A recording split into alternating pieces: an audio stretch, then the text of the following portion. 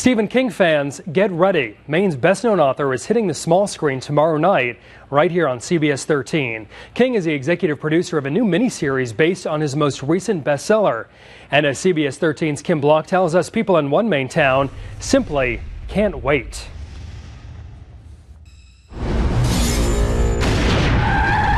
It is one of the most highly anticipated television shows of the summer, Under the Dome, based on the best-selling book by Maine's own Stephen King. Get people trapped in here! Mainers will be watching closely. That's because the science fiction thriller is based in a place known as Chester's Mill, which seems an awful lot like another western Maine town. This is not Chester's Mill, Maine, but it's as close as you'll get. The town in Under the Dome is based on this community of Bridgton, Maine. And for the locals, there is just no question about that. And, uh, you know, he just put everything, like the hospital and the diner, it's almost as if you are reading about our downtown when you're reading about Chester's Mill. Uh, the Food City grocery store was um, was in the mist, and that's also in uh, under the dome. And um, and if you look at the the roads he uses and the places, um, you can see a lot of uh, Bridgton in it. Stephen King himself says it's true. A former town resident, he now lives nearby in Lovell, but it was Bridgton he chose for his first book signing when Under the Dome was released. That's where we asked him about his reference in the book to a CBS 13 helicopter that crashes into the dome and later explodes. The iron logo is recognizable from a long way away. And I saw uh, a CBS helicopter on the New York news, and I said, it's got to be WGAN. Well, you're not WGAN anymore, but you know, 13.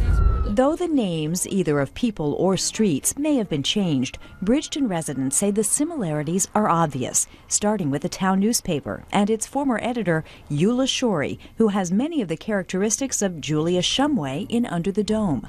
You think we might be stuck in here a while? He patterned her after Eula, her fierce determination and her, her principles and morals. The Bridgton News is located in the town right where the Democrat is. People in Bridgton say they expect things will look different. Background action! With a series shot in North Carolina, and they've heard the writers have taken some liberties with the script, even the ending. Still, I think that I know this town well enough that I'm going to be able to sense if there's anything that reminds me of, of here immediately, it, it will come to me.